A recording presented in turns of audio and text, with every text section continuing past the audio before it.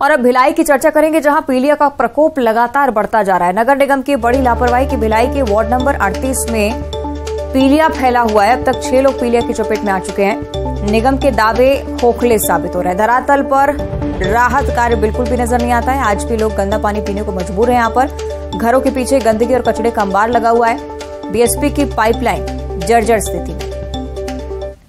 में बहुत गंदगी है। पाइपलाइन तो इतना गंदा है वहाँ पे, पूरा किसी की पाइपलाइन ही सबका पानी बहते रहता है, गंदा पानी गटर का। कोई व्यवस्था नहीं है। पेड़ भी कभी साल में एक बार काटते हैं तो वहीं पूरा फैला के गंदगी करके चले जाते हैं। सर, बीच में पता चला उसमें बीएसपी वाले में गंदा पानी आ रहा है तो उसी को बच्चे लोग पिए तो उस वजह से बीमार पड़े हैं। हाँ। कितना कितना डर लगता है कि गंदा पानी आता है? अब सब पता नहीं अब आए चेक करने के लिए देखे तब पता चला है हम लोग को भी तो वही पानी को पी रहे थे हम लोग भी तो। पानी की दिक्कत ये है पानी से आप पानी उसको देखेंगे बहुत गंदा है पानी। पानी पानी से झाग आता है काला काला आता है पानी। पर मजबूरी है। क्या कर सकते हैं उसको पीना ही पड़ेगा। इसी बच्चे पीलिया की चपेट में आए जी। जी आए हैं तो वो पानी अब दूसरा पानी कोई है ही नहीं कि पियेंगे, पीना ही है उसी पानी को।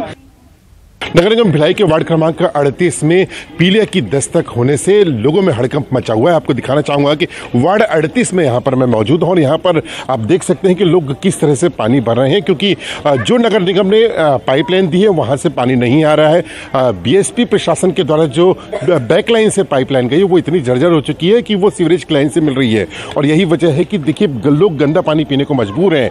और कुछ लोग की मजबूरी भी देखिए कि किस तरह से यहाँ से नाली से जो पाइप गया हुआ है, वो फूटा हुआ है, वहाँ से पानी भर रहे हैं। यहाँ क्षेत्रीय पार्षद हम उनसे सीधा बात करेंगे।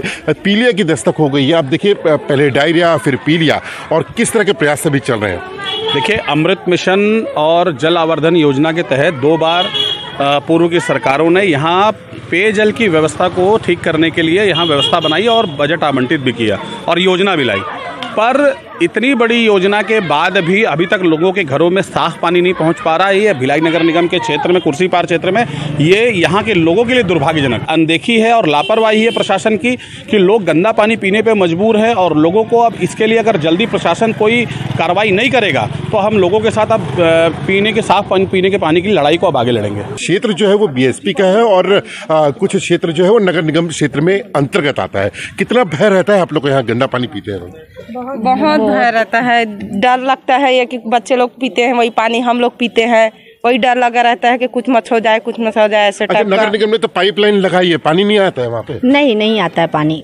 अच्छा तो किससे भरते हैं पानी यहाँ पे हम लोग तो यही से भरते हैं भैया। बीएसपी नल से। अच्छा है तो फिर नहीं आया तो इस नल से भरते हैं। नगर निगम का तो कोई काम का नहीं कोई काम कोई लगाए हो कोई मतलब का नहीं पानी आता है थोड़ा सा आता है पाँच मिनट देता है बंद हो जाता है वो। पीने का पानी भी ढंग से नहीं भर पाते हम लोग। जी।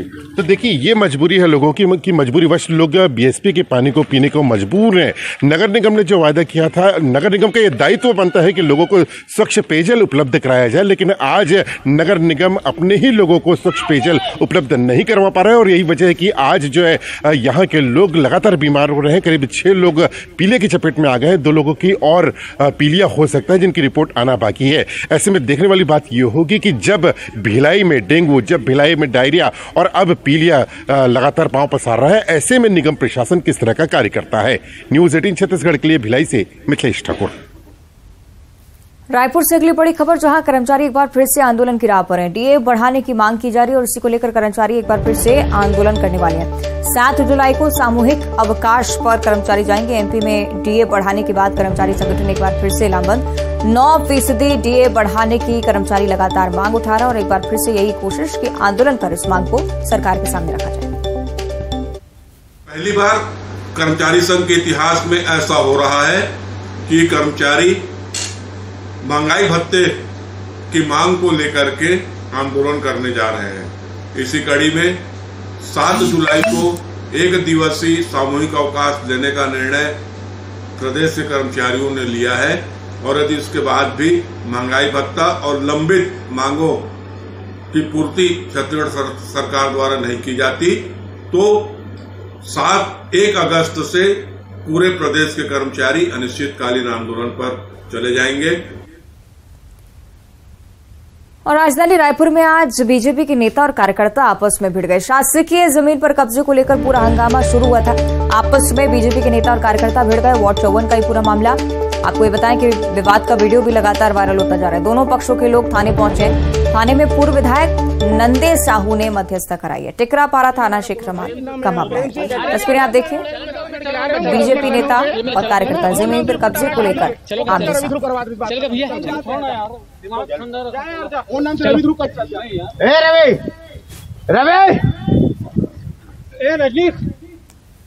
और अब दुर्ग से अगली बड़ी खबर, जहाँ अमित शाह की सभा पर सीएम भूपेश बघेल ने तंज कसा उन्होंने कहा है कि सभा में मुश्किल से पंद्रह हज़ार की भीड़ रही होगी। बीजेपी पूरी ताकत लगाकर भी भीड़ नहीं जुटा पाई। लोग महँगाई और बेरोजगारी से त्रस्त हैं। बीजेपी के पास न किसान, न जवान, न ही आदिवासी हैं। फिर कैसे दुर्ग संभाग को जीतने का दावा करते हैं?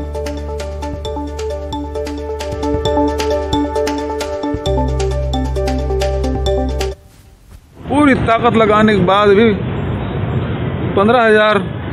मैं अधिकतम उतना ही रहा होगा। उससे अधिक भीड़ नहीं थी। और पूरी ताकत लगा ली। इसका मतलब ये है कि भीड़ जुटाने में भी पसीना आ रहा है।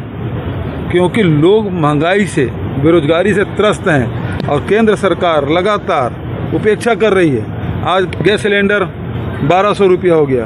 खाद की कीमत, अब खेती किसानी के दिन है।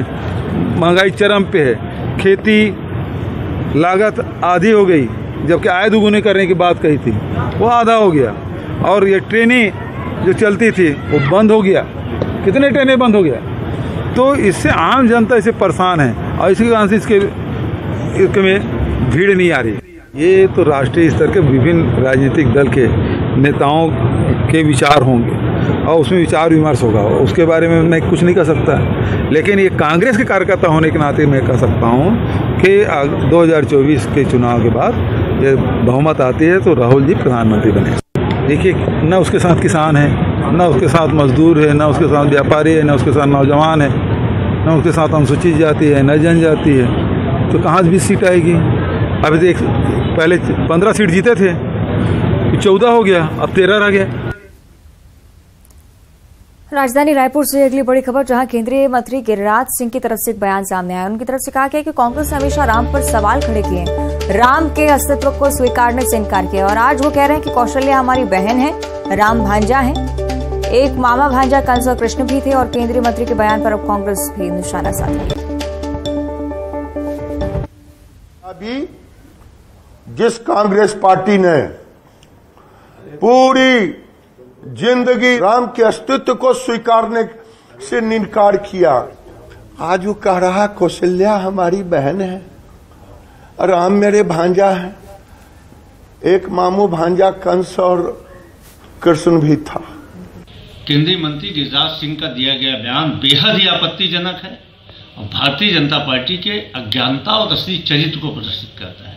माता कौशल्या को छत्तीसगढ़ की बिटिया कांग्रेस नहीं बताती है। वो छत्तीसगढ़ की बिटिया थी, भगवान राम छत्तीसगढ़ के भांजे थे, हैं।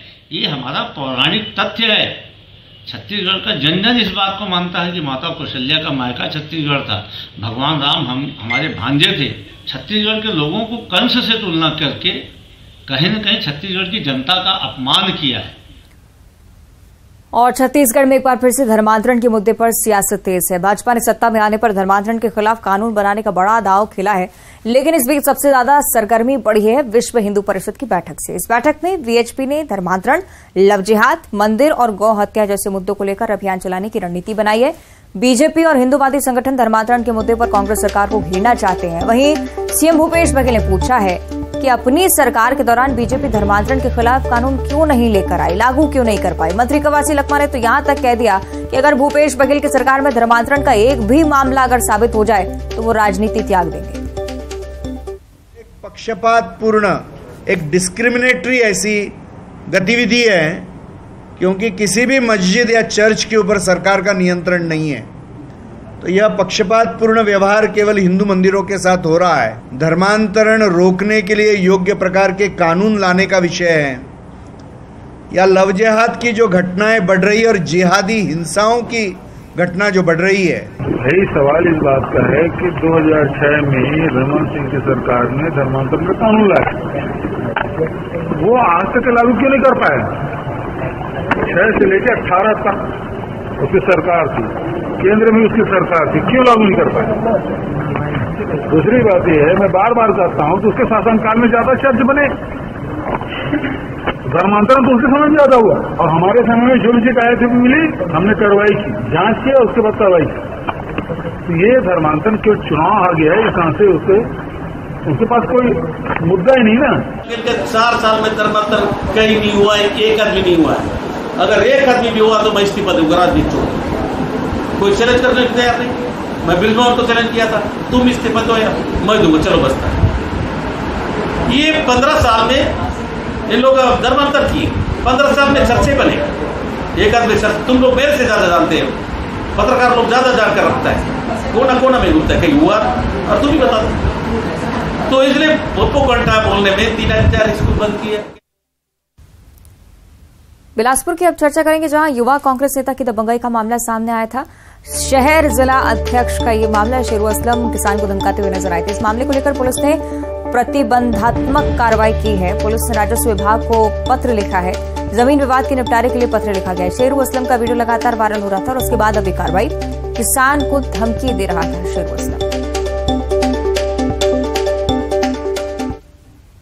सरकंडा थाना क्षेत्र में एक किसान उमेंद्र राम और युवा कांग्रेस शहर अध्यक्ष शेरू असलम का एक विवाद का वीडियो वायरल हो रहा है, जिसमें ये दिख रहा है कि जो शेरू असलम है, वो जो किसान के साथ है, वो बहस कर रहा है और इस वीडियो को संज्ञान में लेते हुए अभी सरकंडा पुलिस कार्रवाई कर रही है और साथ ही साथ दोनों पार्टीज़ को हिदायत दी है कि दोनों ये ज़मीन संबंधी मामले में अभी दूर रहे और यथास्थिति बरकरार रखे और साथ ही साथ पुलिस ने एक प्रतिवेदन राजस्व विभाग के लिए तैयार किया है कि ये जो ज़मीन संबंधी मामले हैं उसमें जल्द से जल्द सीमांकन हो ताकि ऐसी स्थिति पुनः निर्मित ना हो।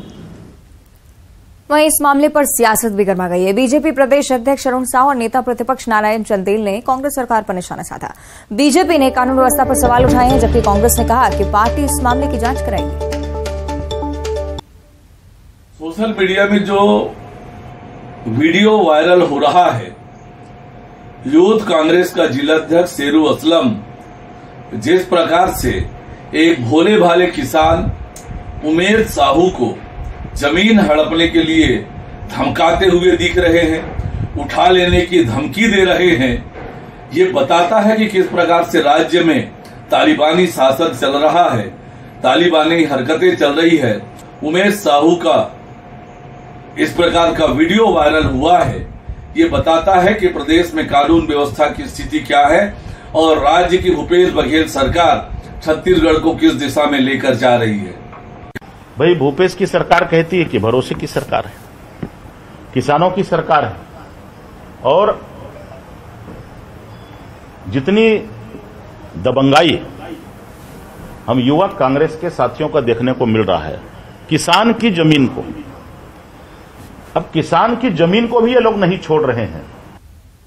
नहीं, देखिए, मेरे पास छत्तीसगढ़ प्रदेश कांग्रेस कमेटी के पास ऐसी कोई सूचना नहीं मिली है, ना ऐसी कोई शिकायत नहीं मिली है। अगर कोई शिकायत आएगी तो उन पर हम लोग जाँच भी कराएँगे, आखिर हकीकत क्या है।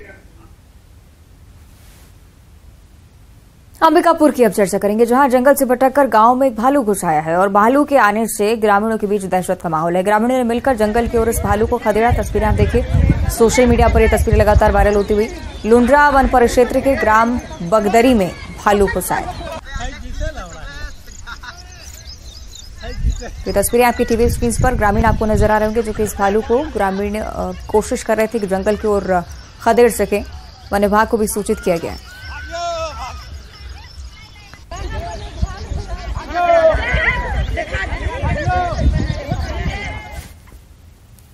और अब देखिए 25 सेकंड में खबर। कल सुकमा ज़िले के दौरे पर रहेंगे सीएम भूपेश बघेल। माता राम रामीन मंदिर में करेंगे पूजा अर्चना। प्रदेश के पहले रॉक गार्डन का करेंगे उद्घाटन। रायपुर में सीएम भूपेश बघेल के घर पहुँचे मितान। सीएम के पौत्र का हुआ आधार पंजीयन। मुख्यमंत्री ने ट्वीट कर दी जानकारी।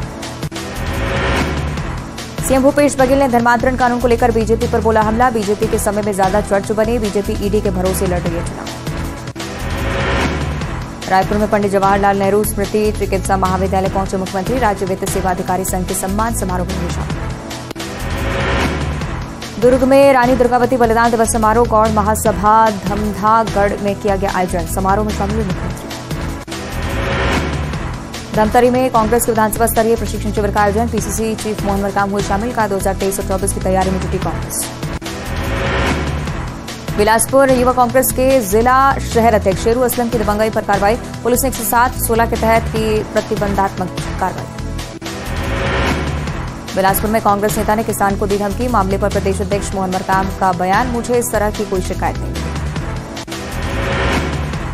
युवा कांग्रेस नेता के किसान को धमकाने पर सियासत तेज नेता, नेता प्रतिपक्ष नारायण चंदेल ने सरकार पर साधा निशाना कहा। यूथ कांग्रेस नेता किसान की नहीं छोड़ रहे ज़मीन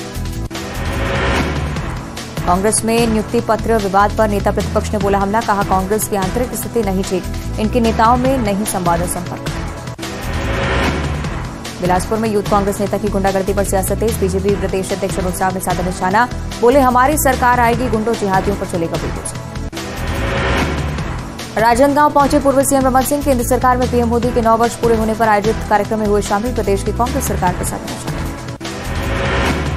कांकेर जिला मेडिकल कॉलेज में बढ़ी मौसमी बीमारी से पीड़ित मरीजों की संख्या, उल्टी दस्त से पीड़ित बच्चों की संख्या बढ़ी। छत्तीसगढ़ में तीन जुलाई से फिर सड़क पर उतरेंगे संविदा कर्मचारी। करीब पैंतालीस हज़ार संविदा कर्मचारी फिर करेंगे आंदोलन। बिलासपुर में ट्रक में अवैध परिवहन करते 20 लाख रुपए कीमत की सरई, लकड़ी जब्त। ट्रक ड्राइवर मौके से फरार। बेल कहना वन परिक्षेत्र का मामला बुलेटिन में इतना ही। देखते रहिए न्यूज़ एटीन।